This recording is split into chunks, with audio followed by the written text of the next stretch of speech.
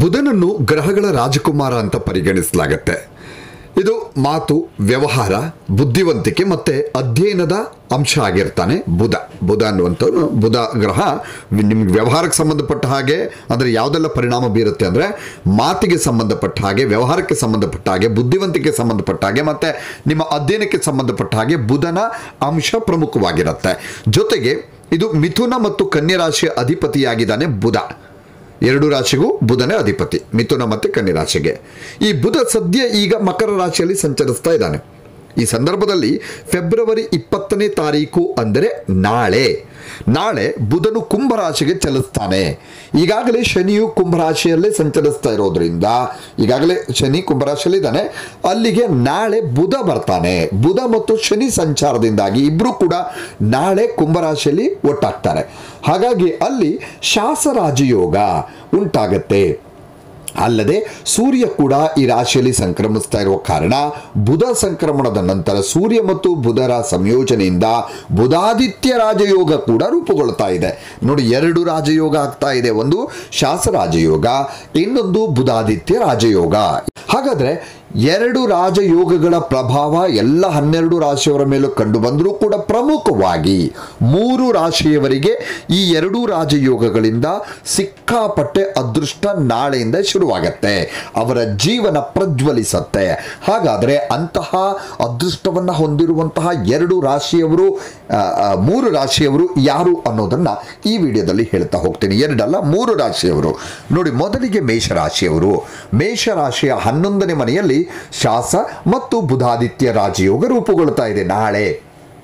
ಇದರಿಂದಾಗಿ ಈ ಮೇಷರಾಶಿಯವರ ಆದಾಯದಲ್ಲಿ ಹೆಚ್ಚಿನ ಏರಿಕೆ ಆಗತ್ತೆ. ನೋಡಿ, ಹಠಾತ್ತಾಗಿ ನಿಮಗೆ ಹಣ ಹರಿದು ಬರುವ ಸಾಧ್ಯತೆ ಇದೆ ಮೇಷರಾಶಿಯವರು. ಸಡನ್ ಆಗಿ ಒಂದು ದೊಡ್ಡ ಅಮೌಂಟ್ ನಿಮ್ಮ ಕೈಗೆ ಸೇರುವಂಥ ಸಾಧ್ಯತೆ ಇದೆ.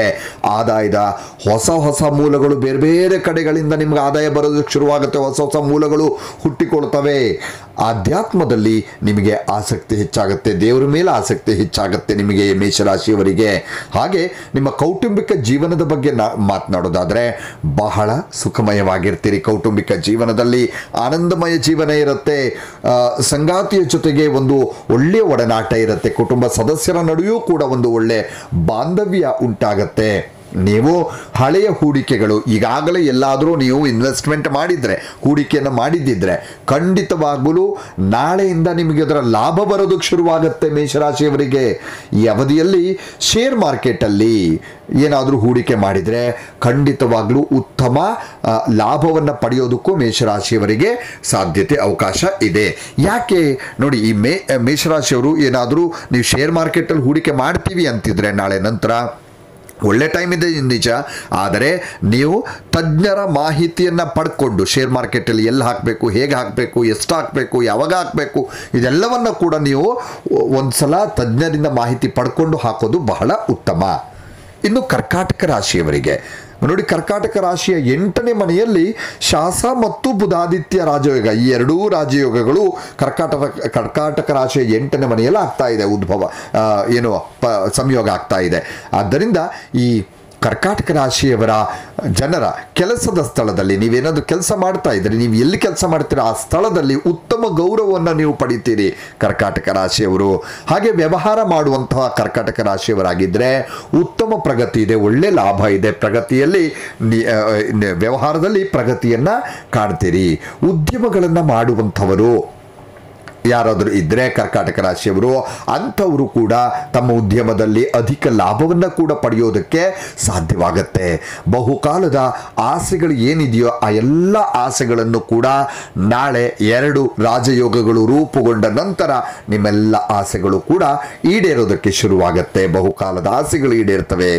ಹೊಸ ಕೆಲಸವನ್ನು ನೀವು ಪ್ರಾರಂಭಿಸಿ ಉತ್ತಮ ಪ್ರಗತಿಯನ್ನು ಕೂಡ ಒ- ಒಂದು ಒಳ್ಳೆ ಅವಕಾಶ ಕರ್ಕಾಟಕ ರಾಶಿಯವರಿಗೆ. ಹಾಗೆ ಸಂಶೋಧನಾ ಕ್ಷೇತ್ರದಲ್ಲಿ ಇರುವಂಥವರಿಗೆ ನಾನು ಹೇಳಿದೆ, ಬುಧ ಸಂಶೋಧನೆಗೆ ಹೆಚ್ಚಿನ ಮಹತ್ವವನ್ನು ಕೊಡ್ತಾನೆ ಅಂತ.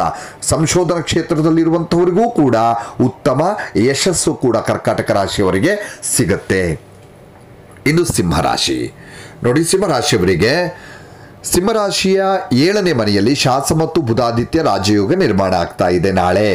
ಹೀಗಾಗಿ ಈ ರಾಶಿಗಳ ದಾಂಪತ್ಯ ಜೀವನ ಸುಖಮಯವಾಗಿರುತ್ತೆ. ಅನ್ಯೋನ್ಯವಾಗಿ ಸಂತೋಷದಿಂದ ದಾಂಪತ್ಯ ಜೀವನವನ್ನು ಕಳಿತೀರಿ. ನಾಳೆಯಿಂದ ಇನ್ನೂ ಹೆಚ್ಚಿನ ಪ್ರೀತಿ ಆ, ಒಂದು ಪ್ರೀತಿ ಹುಟ್ಕೊಳ್ಳುತ್ತೆ. ಆಮೇಲೆ ಉದ್ಯೋಗಿಗಳಿಗೆ ಕಚೇರಿಯಲ್ಲಿ ಉನ್ನತ ಅಧಿಕಾರಿಗಳಿಂದ ಬೆಂಬಲ ಸಿಗುತ್ತೆ. ಹಾಗೆ ಸಿಂಹರಾಶಿಯ ಸಿಂಹರಾಶಿಯ ಜನರಿಗೆ ಉದ್ಯೋಗ ಸ್ಥಳದಲ್ಲಿ ಬಡ್ತಿ ಸಿಗುವಂಥ ಸಾಧ್ಯತೆ ಕೂಡ ಇದೆ.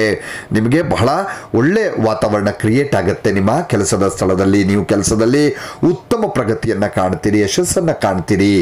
ಸಿಂಹರಾಶಿಯವರು ಜಂಟಿ ಉದ್ಯಮವನ್ನು ಪ್ರಾರಂಭಿಸೋದಕ್ಕೆ ಏನಾದರೂ, ಅಂದರೆ ಪಾರ್ಟ್ನರ್ಶಿಪ್ಪಲ್ಲಿ ಏನಾದರೂ ಒಂದು ಉದ್ಯಮ ಮಾಡಬೇಕು, ಏನಾದರೂ ಒಂದು ಕೆಲಸ ಮಾಡಬೇಕು ಅಂತ ಅಂದ್ಕೊಂಡ್ರೆ ಖಂಡಿತವಾಗ್ಲೂ ಕೂಡ ಈ ಸಮಯ ನಿಮಗೆ ಬಹಳ ಅನುಕೂಲಕರವಾಗಿದೆ ನಾಳೆಯಿಂದ. ಹಾಗಾಗಿ ಶನಿದೇವನ ಕೃಪೆಯಿಂದ ಬಾಕಿ ಉಳಿದಿರುವ ಕೆಲಸಗಳೂ ಕೂಡ ನೀವು ಯಶಸ್ವಿಯಾಗಿ ಪೂರ್ಣಗೊಳಿಸ್ತೀರಿ. ಬಹಳ ಒಳ್ಳೆ ಟೈಮ್ ಇದೆ ಮೂರು ರಾಶಿಯವರಿಗೆ. ನಾಳೆಯಿಂದ ಮೇಷರಾಶಿ, ಕರ್ಕಾಟಕ ರಾಶಿ, ಸಿಂಹ ರಾಶಿಯವರಿಗೆ ಶನಿಯಿಂದ ರೂಪುಗೊಂಡಂತಹ ಶಾಸ, ಬುಧಾದಿತ್ಯ, ರಾಜಯೋಗ ನಾಳೆಯಿಂದ ಆಗ್ತಾ ಇದೆ. ಹಾಗಾಗಿ ನೋಡಿ ನಾಳೆಯಿಂದ ಕುಂಭರಾಶಿಗೆ ಬುಧನೂ ಕೂಡ ಬರ್ತಾ ಇರೋದ್ರಿಂದ ಬುಧ ಮತ್ತು ಸೂರ್ಯನೂ ಕೂಡ ಜೊತೆಗೆ ಆಗ್ತಾ ಇರೋದ್ರಿಂದ ಮತ್ತೆ ಶನಿಯೂ ಕೂಡ ಇರೋದ್ರಿಂದ ಅದೇ ಕುಂಭರಾಶಿಯಲ್ಲಿ ಇರೋದ್ರಿಂದ ಇಲ್ಲಿ ಎರಡು ರಾಜಯೋಗ ನಿರ್ಮಾಣ ಆಗ್ತಾ ಇದೆ. ಇದರಿಂದ ಈ ಮೇಷರಾಶಿ, ಕರ್ಕಾಟಕ ರಾಶಿ, ಸಿಂಹರಾಶಿಯವರಿಗೆ ಬಹಳ ಅದ್ಭುತವಾದಂತಹ ಸಮಯ ಬರ್ತಾ ಇದೆ. ಇನ್ನಷ್ಟು ವಿಡಿಯೋಗಳಿಗಾಗಿ ಮೀಡಿಯಾ ಏಟೀನ್ ಕರ್ನಾಟಕ ಚಾನಲನ್ನು ಸಬ್ಸ್ಕ್ರೈಬ್ ಮಾಡಿ ಹಾಗೂ ಹೊಸ ಹೊಸ ವಿಡಿಯೋಗಳ ಅಪ್ಡೇಟ್ಗಳಿಗಾಗಿ ಬೆಲ್ ಐಕನ್ ಅನ್ನು ಕ್ಲಿಕ್ ಮಾಡಿ. Thank you.